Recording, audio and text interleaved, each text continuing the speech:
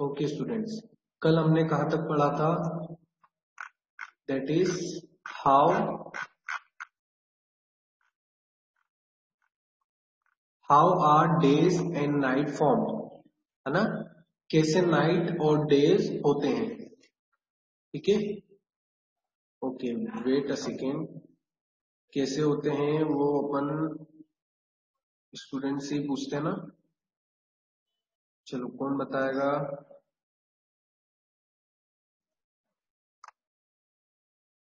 खुशहाल।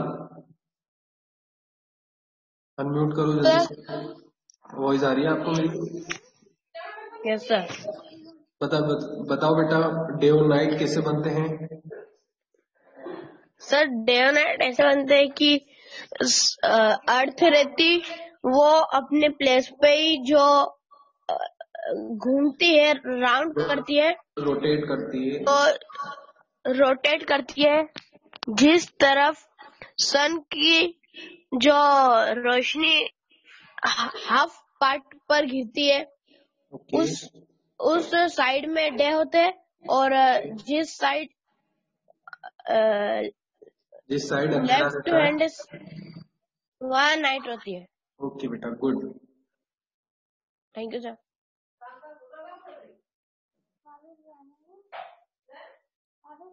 चलो ठीक है। है ना? मतलब ये तो क्लियर है आपको?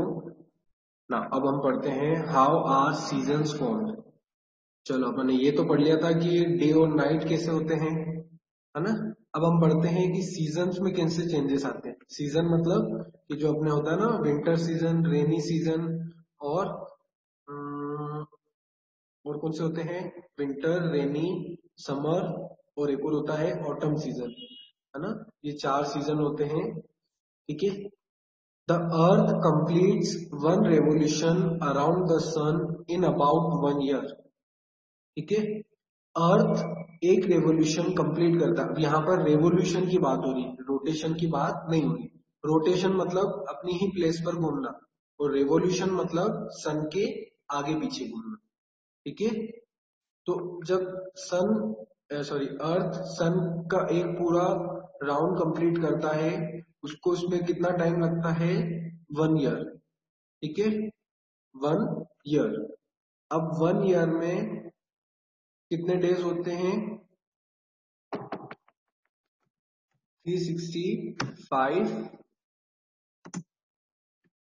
वन बाय फोर है ना?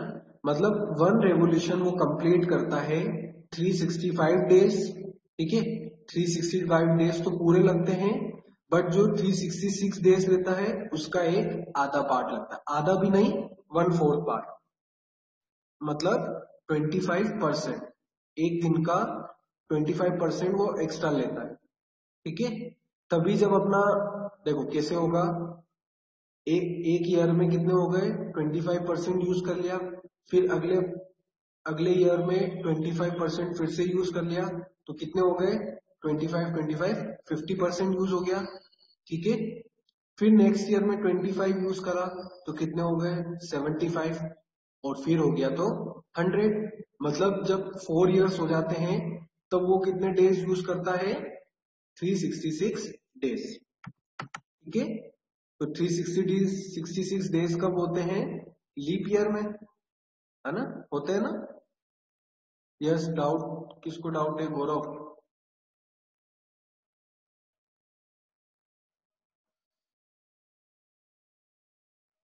कहा ढूंढू मैं अब आपको। ओके चल क्या कंफ्यूजन है?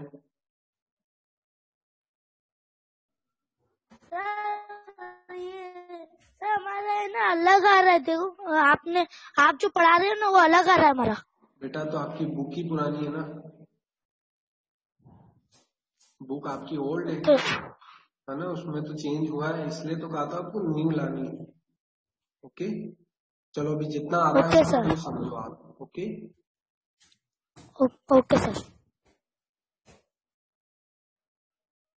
ओके क्या पढ़ रहे थे अपन? हाँ. तो वो टोटल कितने डेज़ लेता है? 365 डेज़ ठीक है? और जो एक और दिन लेता है, उसका 25 परसेंट वो यूज़ करता है, ठीक है? तो 25 पहले ईयर में 25 सेकेंड ईयर में, ठीक है? 25 थर्ड ईयर में, और फिर 25 फोर्थ ईयर में। ऐसे करके वो पूरा दिन कंप्लीट कर लेता है। इसलिए फोर इयर्स में क्या आ जाते हैं वो? 366 डेज़ हो जाते हैं। ओके 366 डेज़ है ना? तभी उसको अपन क्या कहते हैं? लीप ईयर ओके अब हम पढ़ते हैं। The earth completes one revolution around the sun in about one year वो एक रेवोल्यूशन वन ईयर में कंप्लीट करता है। The revolution of the earth and the tilt of its axis together cause season on the earth earth का जो revolution होता है और एक्सिस जो ये ऐसी टेढ़ी है है ना? ये एक्सिस जो इसकी ऐसी झुकी हुई है, उसकी वजह से क्या होता है? अर्थ में सीज़न चेंजेस आते हैं। Because of the tilt of the earth axis the sun rays fall directly on either the northern or the southern hemisphere है कल मैंने आपको बताया था, दो पार्ट होते हैं अर्थ के, एक तो नॉर्दर्न हेमिस्फीयर और नीचे वाला सदर्न हेमिस्फीयर ये कल बताया था मैंने आपको। तो अर्थ की जो एक्सिस क्या है, थोड़ी टिल्ट है। टिल्ट मतलब थोड़ी सी झुकी हुई है है ना? तो सन रेस कहाँ पर गिरती है? डायरेक्टली या तो नॉर्दर्न हेमिस्फीयर में या फिर सदर्न हेमिस्फीयर है ना? और आइदर आइदर मतलब या तो दोनों में से एक। The part of the earth that receives more sunlight will have summer and the other half will have winter अब जो सन रेस जो डायरेक्ट इस पे गिर रही है है ना? तो उस पार्ट में क्या होगा? उस पार्ट में समर सीज़न होगा और उसके अपोजिट पार्ट में क्या होगा? विंटर सीज़न है ना? समझ में आपको कैसे? अब जैसे मैं आपको बताता हूँ वेट सेकेंड ड्रो करके बताता हूँ मैं आपको। ये सन है है ना? ये अर्थ ये अर्थ ठीक है? ये क्या कर रहा है? सन के आसपास क्या कर रहा है? मूव कर रहा है ओके तो सन की रेस क्या हो रही है? रिवोल्यूशन की वजह से वो क्या हो रही है? जो अब सन यहाँ पर क्या हो रहा है? ये जो अर्थ है, ये यहाँ पर धीरे धीरे करके यहाँ पर आएगा। ठीक है? यहाँ पर आएगा, है ना? तो सन की रेस कहाँ पर आएगी? ये ऊपर वाले पार्ट में, है ना? ऊपर वाले पार्ट में आएगी तो ऊपर वाले पार्ट में क्या होगी? समर सीज़न क्यों? क्योंकि यहाँ पर सन की रेस कंटिन्यूसली आ रही है। ओके और फिर ये क्या करेगा? धीरे धीरे ऊपर जाएगा, है ना? ऊपर जाएगा तो सन यहाँ पर आ जाएगा। अब सन रेस कहाँ पर आ रही है? नीचे वाले पार्ट में मतलब सदर्न हेमिस्फीयर तो अब यहाँ पर समर हो जाएगा और ऊपर वाले पार्ट में विंटर ये हो गया आपको क्लियर है ना? ये जो सन अर्थ रिवोल्यूशन करता है, उसकी वजह से सनरेस कभी नॉर्दर्न हेमिस्फीयर में जाती है, कभी सदर्न हेमिस्फीयर ठीक है? As the earth move around the sun after about six month the part that had summer will now have winter and the part that had winter will now have summer ठीक है यही मैंने अभी आपको बताया कि सिक्स मंथ में वो अपनी प्लेस चेंज कर लेगा अर्थ यहाँ से यहाँ आ जाएगा, यहाँ से यहाँ आ जाएगा, यहाँ से यहाँ आ जाएगा। ठीक है? तो यहाँ पर ये ऐसे करके पूरा एक राउंड कंप्लीट करता है। है ना? तो जहाँ पर सन की रेज आ रही है, वहाँ पर क्या होगा? वहाँ पर वहाँ पर क्या होगा? वहाँ पर समर सीज़न होगा, है ना? और जहाँ पर सनरेज नहीं आ रही है, वहाँ पर क्या होगा?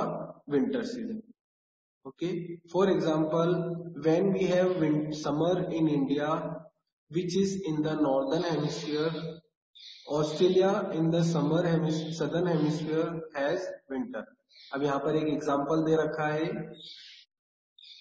बेटा, एक मिनट में समझा रहा हूँ, खुशहाल। यहाँ पर जैसे फॉर एग्ज़ाम्पल दे रखा है कि अगर इंडिया में समर है इंडिया कहाँ पर है? नॉर्दर्न हेमिस्फीयर में। ठीक है? नॉर्दर्न हेमिस्फीयर में है तो वहाँ पर क्या है? समर तो जो सदर्न हेमिस्फीयर में क्या है? ऑस्ट्रेलिया है ना? वहाँ पर क्या है? विंटर। ठीक है? अब क्या समझ में नहीं आया, खुशहाल?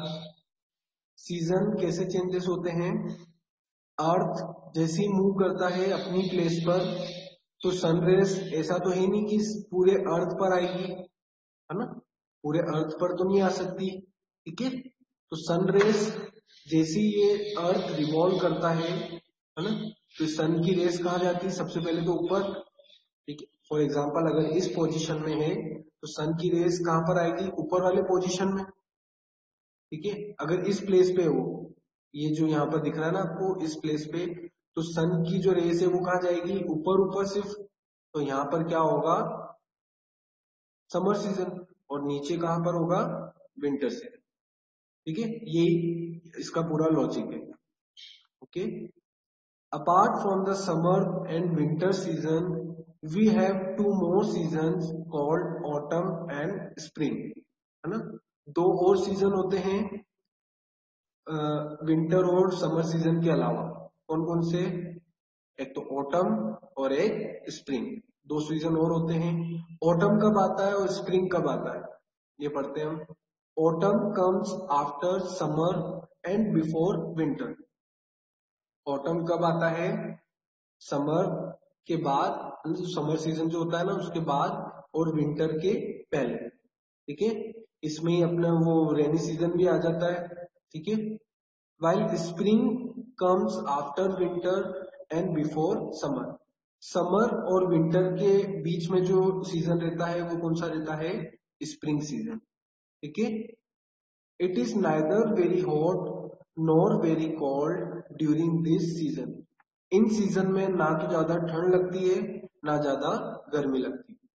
दीज सीज़न आर प्लीजेंट ये सीज़न क्या होते हैं? बहुत ज़्यादा प्लीजेंट होते हैं। अंडरलाइन दिस वर्ड प्लीजेंट मतलब जो जो अच्छे लगते हैं, है ना? जो सीज़न अच्छे लगते हैं। अभी जब विंटर जाए मतलब जो विंटर का जो सीज़न जाएगा, उसके बाद वाला जो सीज़न रहता है, वो आपको भी अच्छा लगता है है ना? जब आप एग्ज़ाम एग्ज़ाम देके कंप्लीट फ्री हो जाते हो, और वो मौसम मतलब वो जो सीज़न वो भी अच्छा लगने लगता है आपको? ओके ये अंडरलाइन कर लो आप प्लीजेंट मतलब अच्छा।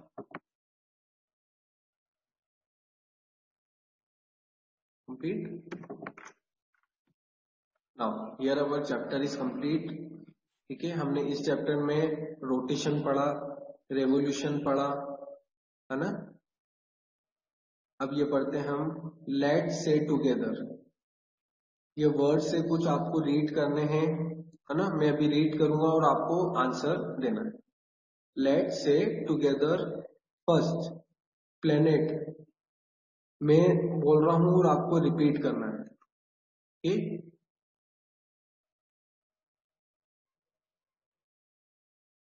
चलो, ठीक है। First, planets. P L A N E T S. Planets. Repeat. Shubh, repeat. Devang. P L A N E T S. Planets.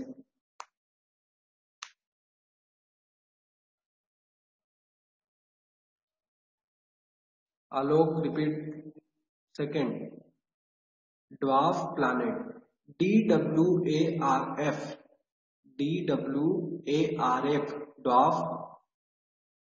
P L A N E T S planets. Dwarf planets.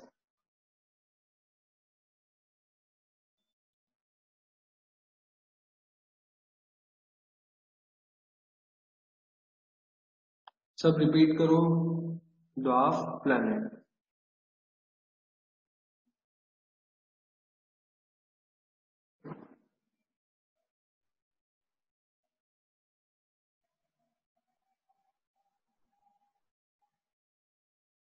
third satellite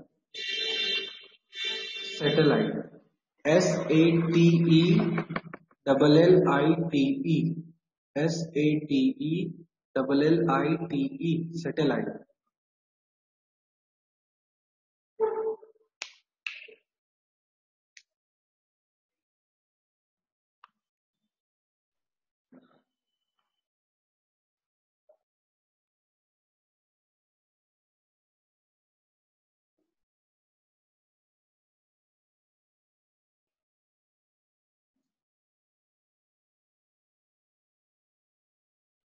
complete next axis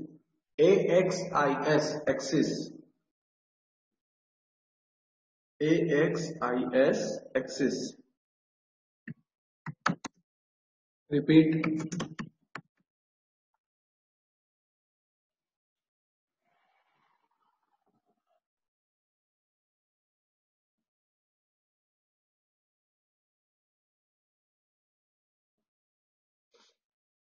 complete next equator e q u a t o r e q u a t o r equator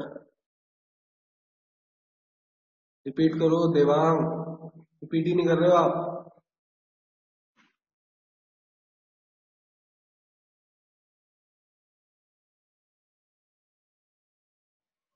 नहीं करना है repeat Devang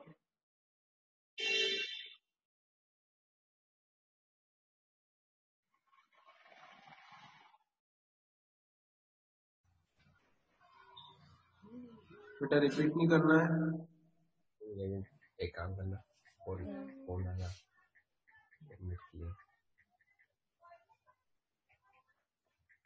I want to see some updates. I want to see some updates.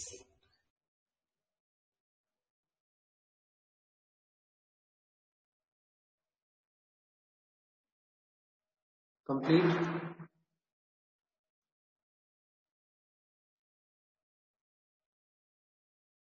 okay. Now, write homework two times. है ना? इसको आपको two times complete करना है homework को।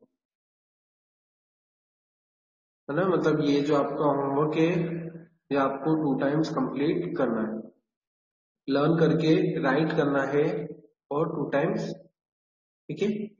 जैसे अभी लर्न कराओ वैसे ही लर्न करना है। जैसे हर बार करते हो आप, वैसे आपको कंप्लीट करना है।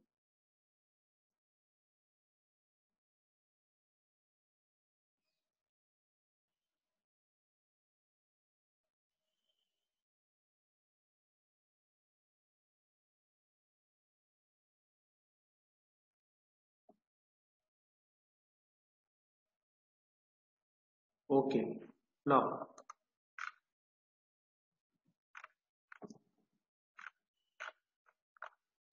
वो एक्टिविटी कंप्लीट कर लेते हैं। Choose the correct option first the sun is a sun क्या है? A planet B satellite C star D dwarf planet इनमें से क्या है sun answer is star answer write करो। Star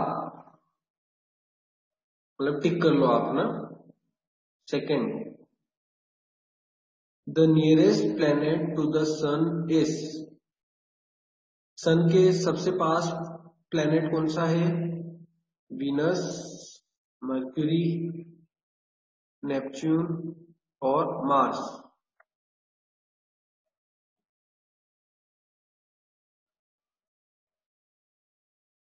right answer Mercury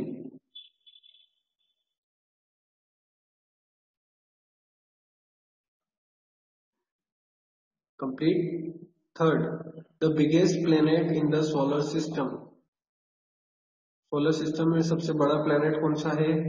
Mars Jupiter Satan या फिर Pluto answer Jupiter क्या हो गया शुभ? सर हमारे और बुक है। तो ये क्वेश्चन नहीं आ रहे क्या उसमें? सर आ रहे तो करो ना तो। सर करे भाई है अच्छा करे भी है देख लो आंसर चेक कर लो गलत तो नहीं ओके अगर गलत हो तो आप रफ करके राइट कर लो। Okay sir Third complete. Fourth, the planet that has a prominent ring system around it. कौन सा प्लेनेट जिसके आसपास रिंग्स होती है मार्स जुपिटर सैटर्न या फिर Uranus answer is C Saturn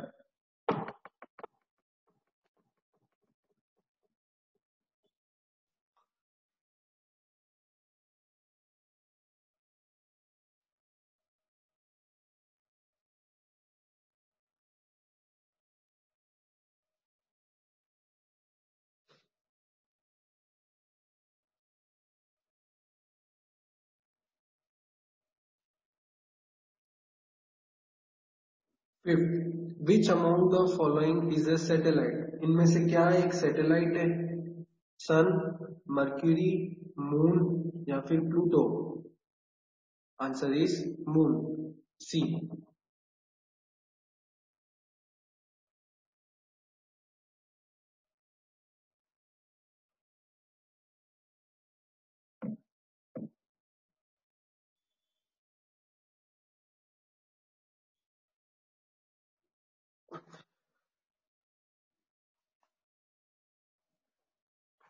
complete true false first mars is a red planet mars red planet है answer is true second moon is the artificial satellite of the earth moon earth की artificial satellite है क्या answer is false क्यों? क्योंकि वो natural satellite है। Third Uranus is the farthest planet from the sun Uranus sun से सबसे दूर वाला प्लेनेट है। आंसर इज़ फॉल्स सबसे दूर क्या है? Neptune Neptune is a dark planet answer is false Neptune तो एक नॉर्मल प्लैनेट है है ना? और डार्क प्लैनेट कौन सा है? Pluto. Fifth Saturn is the second largest planet of the solar system Saturn सबसे मतलब सेकेंड लार्जेस्ट है मतलब सेकेंड नंबर पे है लार्ज में, है ना? लार्जेस्ट प्लैनेट पे वो सेकेंड नंबर पे है, सबसे बड़े प्लैनेट में। सेकेंड नंबर पे है answer is yes two first कौन सा है? जुपिटर और second Saturn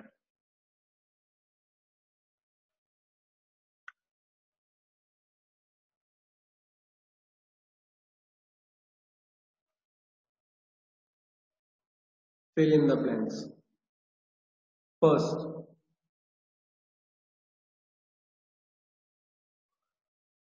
Pluto is now considered to be a dash. Pluto कौन सा अब कौन सा प्लेनेट कहा जाता है उसको प्लेनेट या फिर dwarf planet answer is dwarf planet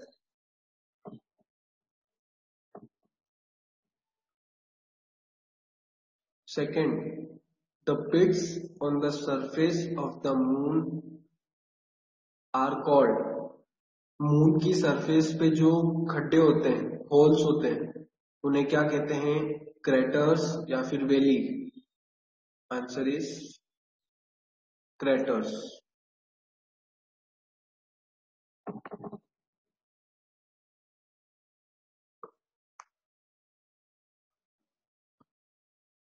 the angle of the tilt of earth axis is earth की जो एक्सिस है, वो कितने एंगल पे टिल्ट है मतलब कितने एंगल पे झुकी हुई है वो?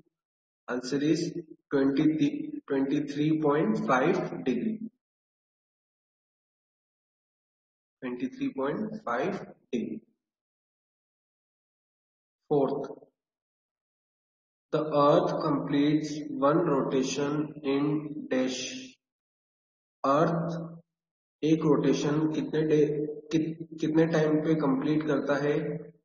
अ डे एन आर मतलब एक दिन में या फिर एक आर में मतलब एक घंटे में। Answer is a day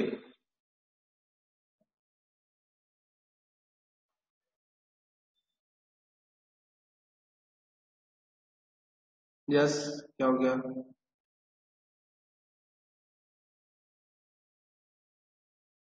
unmute करो बेटा। अब क्या हो गया, शुभ? सर कुछ भी नहीं हुआ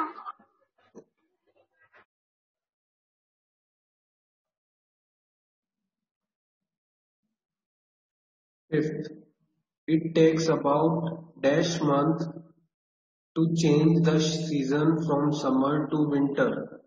कितना टाइम लगता है समर से विंटर होने में किसी भी एक जगह का सिक्स या फिर थ्री आंसर इज़ सिक्स ठीक है। कंप्लीट कर लिया देवांग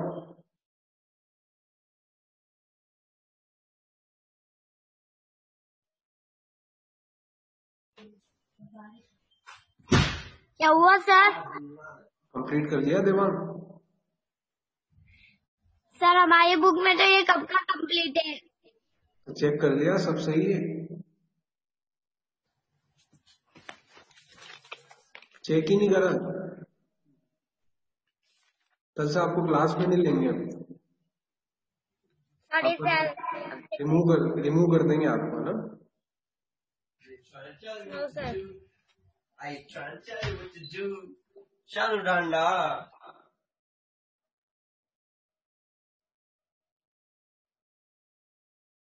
जल्दी से कंप्लीट करो।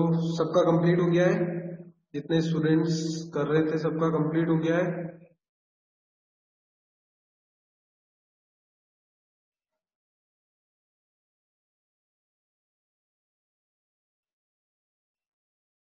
जल्दी से कंप्लीट करो, मृगांक, अंश।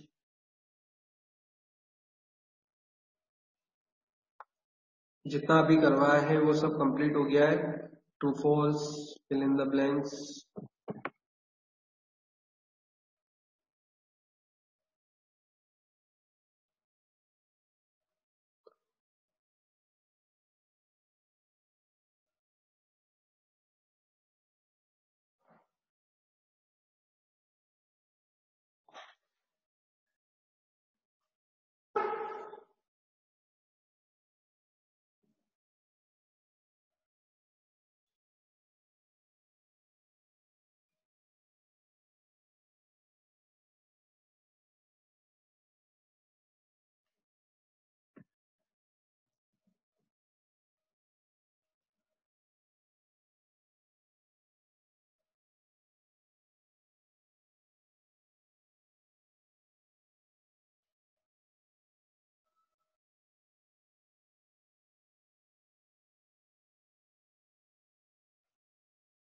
yes Anushka बेटा अगर हार्ड वर्ड्स होंगे तो आपको बता देंगे है ना? हार्ड वर्ड्स आपको लिखने की नहीं लिखने हैं वो आपको बता देंगे है ना? On Monday I will tell you क्या हो गया सिद्धि? सर हम्म। सर मैं सर मैं यू कह रही हूँ कि वो जो आपने नोट्स दिए ना उनमें आपने जो चैप्टर समझा है वहाँ तक ही करना है कि पूरे सारे चैप्टर्स करना नहीं नहीं सारे नहीं करने ना जितने चैप्टर हो गए हैं एक एक करते जाओ। सर जितने आपने एक्सप्लेन किए और हमारे कंप्लीट हो गए बुक बुक में उतने ही करने हैं? उतने ही करने थैंक यू सर जो ज़्यादा नहीं नहीं करा है वो करना नहीं है। ओके ना कंप्लीट ना एक लास्ट बुक एक्टिविटी बच गई है।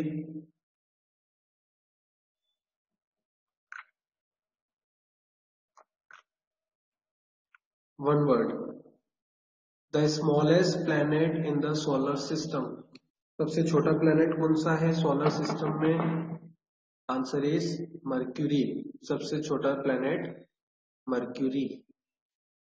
Second the planet on which life exist कौन से प्लेनेट में लाइफ एग्जिस्ट करती है?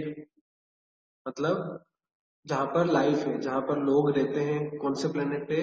Answer is earth third the natural satellite of the earth the natural satellite of the earth answer is moon answer is moon fourth the first artificial satellite sent into space by india India से भेजी हुई सबसे पहली artificial satellite कौन सी है Aryabhata answer is Aryabhata fifth an imaginary line that divides the earth into two equal halves. कौन सी line अर्थ को दो पार्ट में डिवाइड करती है?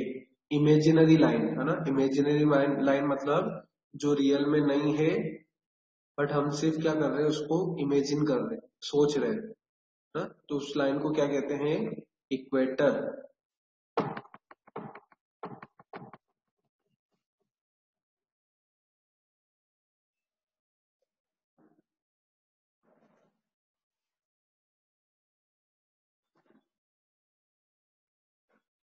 इक्वेटर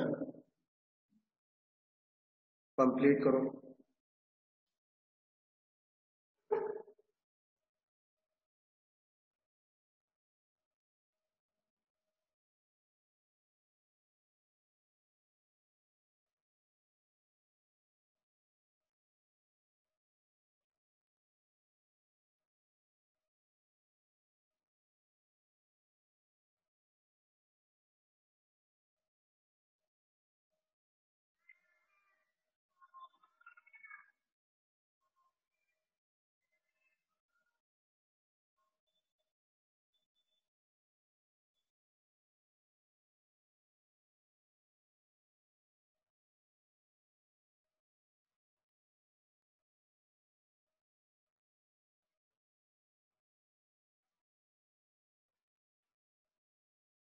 कंप्लीट बेटा।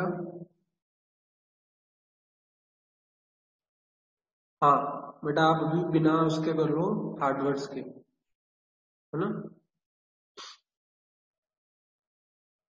अभी बिना हार्डवर्ड्स के कर लो आप।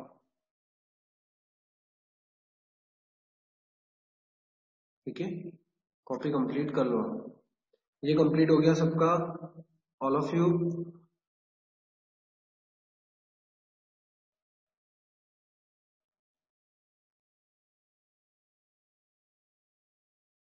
सबका कंप्लीट हो गया। सैंड में thumbs up